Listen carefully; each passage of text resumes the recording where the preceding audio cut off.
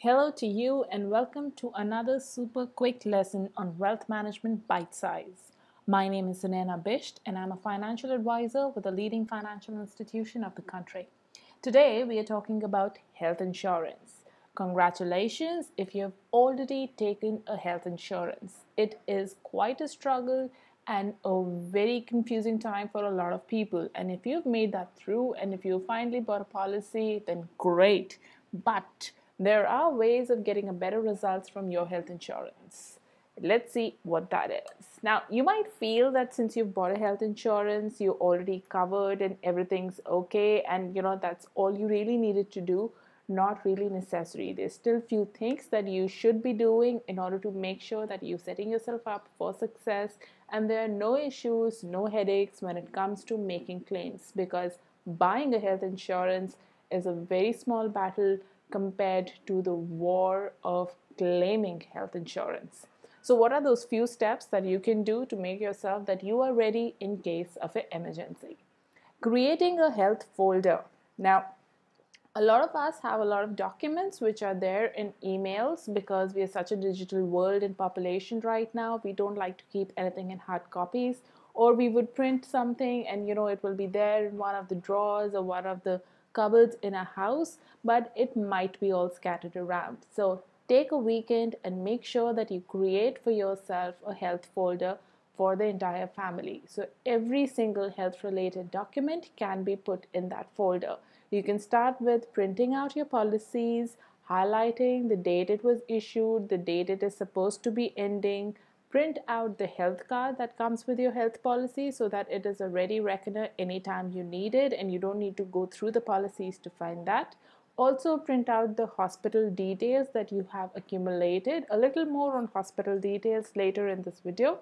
Your TPA contact within the hospital, make sure you have that number also and health customer sorry insurance customer care contact very important make sure that that's there within your folder now, besides this, few other things that you can add to your folder would be the latest health reports, the latest checkup reports for every single family member of yours so that you know everything is accumulated in one single place and at the time of emergency you are not going through a lot of documents which are lying loose all over your house in a drawer or somewhere and there's one file that you need to pick up. Make sure every family member is aware where this file is kept and keep yourself up to date with the file. So review this file once every six months or once in a year to make sure that all your documents are up to date and there is no excess document within this folder.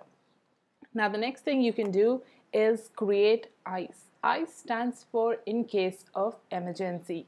This is contact details that you should have on your phone know make sure that one of your family members is aware under what topic you have created this contact. Therefore ice is actually a very good acronym that you can put in front of this contact. So somebody goes into your contacts and searches for ICE they will get a list of all your contacts which are supposed to be emergency.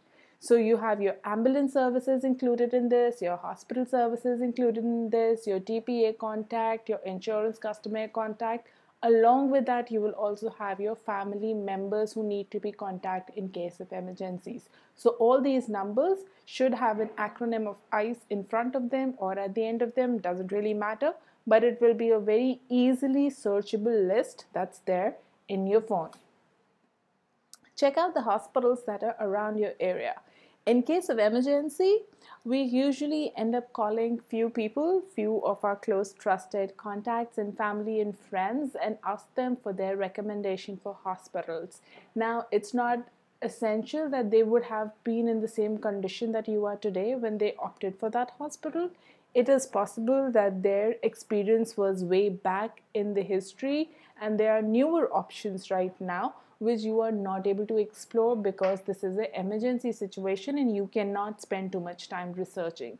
So, the best thing to do is to search out and research all the healthcare services which are in your neighborhood or around your city so that you know them better and you make a much more informed decision when it comes to an emergency situation. You would know exactly which should be your first choice, second choice, third choice. There are few hospitals which have great services, but there are few hospitals which have great doctor feedbacks. Then again, there can be hospitals which have very good TPA contacts. So you need to make sure that you are aware of these three basic hospital services and conditions, things that you will be getting in touch of.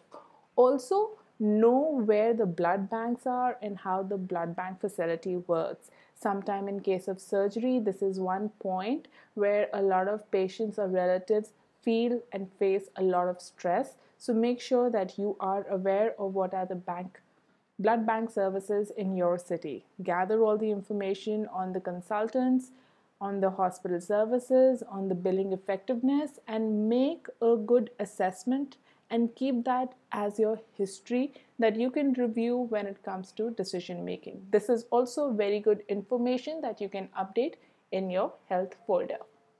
Lastly, the health card which comes with your policy take a copy of that, print it out, laminate it, and put it in your wallet. It should be as big as your debit card size, so it's not going to take too much of time. This is a half an hour job, guys, and it is very important. You don't want to later on be going back into emails trying to figure out where the document is, look for a Wi Fi signal or data pack, and all that. It is a ready reckoner that should be available and on you at all point of time just in case i hope it never happens but just in case you are in an accident if somebody somebody is trying to identify you or get you to the right place this document will be very helpful in identifying you.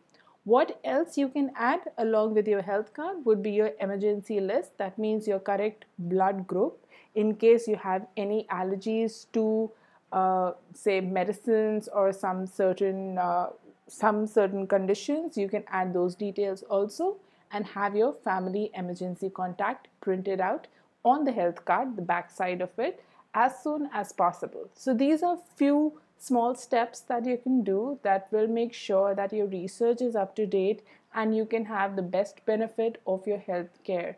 Emergency situations are the worst situations to make any kind of sudden decisions in, and these steps will make sure that you are well prepared in advance in case you ever come across such a situation.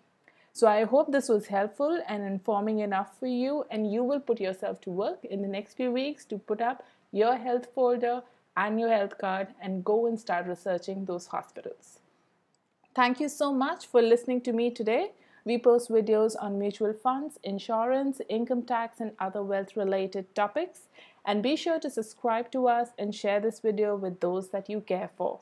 Also, see our other videos on health insurance, like how to buy the correct health insurance, what are the ideas and concepts you should have clear in your mind when you go to the market to buy health insurance, understanding health insurance top up and super top up, how do they work, how are they calculated, and which one would be the correct one for you. Also, what are health exclusions in the insurance policy, how they work, and how you should be aware of them before you sign on the dotted lines. Thank you again. Have a good day.